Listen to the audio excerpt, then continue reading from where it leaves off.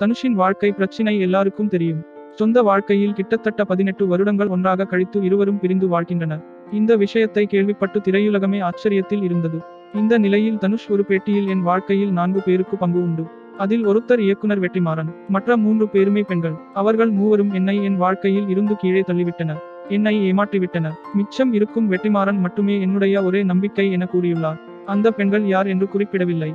வெற்றிமாறன் தனுஷை வைத்து ஆடுகளம் பொல்லாதவன் அசுரன் மற்றும் வடசென்னை என அடுத்தடுத்த வெற்றிப்படங்களை கொடுத்தவர்.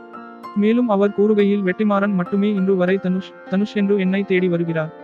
எவ்வளவு வெற்றியை பார்த்தாலும் அவர் மட்டுமே என்னை தேடி வருகிறார்.